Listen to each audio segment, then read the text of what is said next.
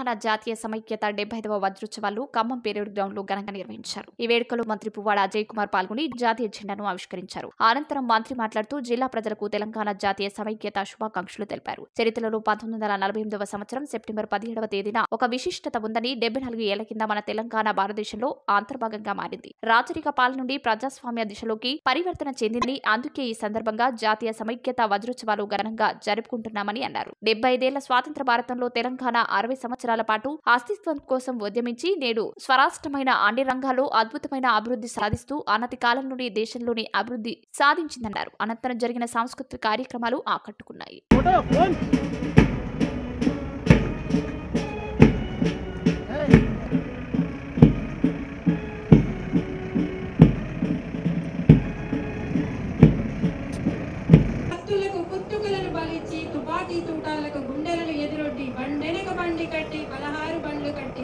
ఏ బండిలో వస్తావు కొడకో ఇలా తలుచుకొని ఈ కార్యక్రమంలో పాల్గొని సంతోషాన్ని పంచుకోవడానికి ఇక్కడికి విచ్చేసిన ప్రతి ఒక్కరికి మనస్ఫూర్తిగా స్వాగతం సుస్వాగతం ఈరోజు కార్యక్రమంలో పా-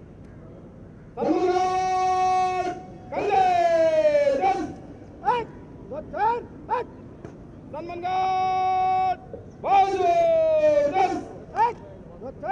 Hek!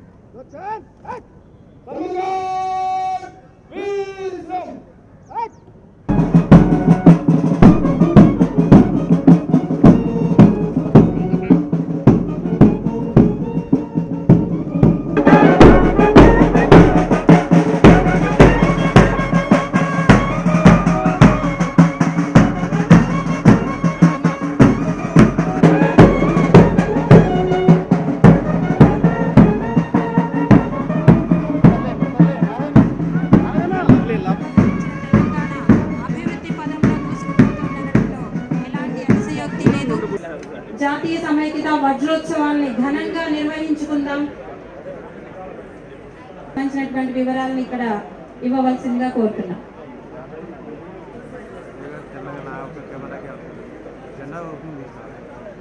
ముందుగా అభినయ రుద్ర నాట్యాలయం వారి ప్రదర్శన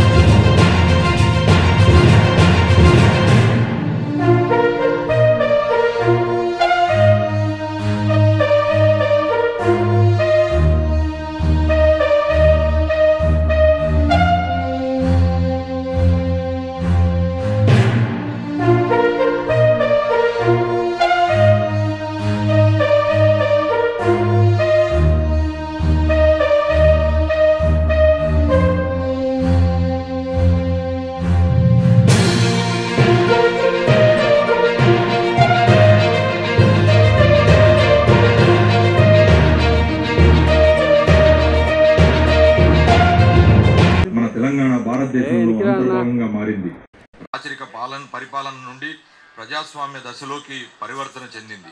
అందుకే ఈ సందర్భంగా జాతీయ సమైక్యత వజ్రోత్సవాలను ఘనంగా జరుపుకుంటున్నాం. ఇటీవలనే భారత స్వాతంత్ర వజ్రోత్సవాలను దేశంలో ఏ రాష్ట్రం నిర్వహించినంతగా ఘనంగా జరుపుకున్నాం. ప్రజలందరి గుండెల్లో దేశభక్తి భావన పెళ్ళుబుకేలా పదిహేను రోజుల పాటు జరుపుకున్నాం. దాని కొనసాగింపుగానే జాతీయ సమైక్యత వజ్రోత్సవాలను నిర్వహించుకుంటున్నాం. భారతదేశం ఈరోజు కనిపిస్తున్న పరిపాలనా స్వరూపంలో స్వరూపంలో మునుపు లేదు. స్వాతంత్రం పొందిన సమయంలో దేశం రెండు రకాల పరిపాలనా ప్రాంతాలుగా ఉండేది. బ్రిటిష్ వాళ్ళు ప్రత్యక్షంగా పరిపాలించిన బ్రిటిష్ ఇండియా ఒక భాగం స్వదేశీ రాజుల పరిపాలనలో ఉన్న సంస్థానాలు రెండవ భాగం. గాంధీ నెలకొల్పిన సామరస్య విలువల వల్ల జవహర్లాల్ నెహ్రూ కల్పించిన విశ్వాసం వల్ల మౌలానా అబుల్ కలాం ఆజాద్ పాదుకొల్పిన మతాతీత దేశభక్తి భావన వల్ల దేశానికి తొలి హోంమంత్రి అయిన సర్దార్ వల్లభాయ్ పటేల్ ప్రదర్శించిన చాకచక్యం వల్ల సంస్థానాలు భారతదేశంలో కలిసిపోయి దేశం ఏకీకృతమైంది. నేడు చూస్తున్న భారతదేశం ఆవిష్కృతమైంది. హైదరాబాద్ సంస్థానం భారతదేశంలో ఐక్యమై నేటితో డెబ్బై నాలుగు సంవత్సరాలు పూర్తయ్యాయి. డెబ్బై ఐదవ సంవత్సరంలోకి ప్రవేశిస్తున్నాం. భారతదేశ నిర్మాణంలో తెలంగాణ భాగం పంచుకుంటున్న పంచుకున్న ఈ రోజున జాతీయ సమైక్యత దినంగా మనం ఘనంగా జరుపుకుంటున్నాం. డెబ్బై ఐదేళ్ళ స్వాతంత్ర భారతదేశంలో తెలంగాణ అరవై సంవత్సరాల పాటు అస్తిత్వం కోసం ఉద్యమించింది. నేడు స్వరాష్ట్రమైన అన్ని రంగాల్లో అద్భుతమైన అభివృద్ధిని సాధిస్తూ అనతి కాలంలోనే దేశంలోనే అగ్రగామి రాష్ట్రంగా రూపుదాల్చింది. తెలంగాణ రాష్ట్ర ప్రభుత్వం అమలు చేస్తున్న అభివృద్ధి సంక్షేమ పథకాలు మీకు తెలియజేయటం నా కర్తవ్యంగా భావిస్తా ఉన్నా. తెలంగాణ రాష్ట్ర ఏర్పాటులో ప్రాజెక్టుల నిర్మాణం చేపట్టి రాష్ట్రాన్ని సస్యశ్యామలం చేసుకున్నాం. జిల్లాలో నాగార్జున సాగర్ లాల్ బహదూర్ కాల్వ మరియు శ్రీరామ్ సాగర్ ప్రాజెక్టు వన్ ఒకటవ దశ శ్రీరామ్ సాగర్ ప్రాజెక్టు రెండవ దశ వైరా ప్రాజెక్టు లంకా సాగర్ ప్రాజెక్టు చిన్ననీటి వనరులు చిన్న ఎత్తిపోతల పథకాల ద్వారా ఐదు లక్షల ఏడు వేల మూడు వందల తొంభై ఎనిమిది ఎకరాల విస్తీర్ణాన్ని ఆయత్తపరచడమైంది. సీతారామ ఎత్తిపోతల పథకం ద్వారా గోదావరి నీళ్ళను మళ్ళించి ఖమ్మం జిల్లాలో ఒకటి పాయింట్ మూడు మూడు లక్షల ఎకరాల నూతన ఆయకట్టు సాగునీటి వసతికి మేజర్ మీడియం చిన్ననీటి వనరుల స్థిరీకరించడం పడి వాటిలో నీటి లభ్యత తక్కువగా ఉన్నప్పుడు రెండు పాయింట్ ఎనిమిది రెండు లక్షల ఎకరాల సప్లిమెంట్ చేయడానికి సిద్ధం చేశాం.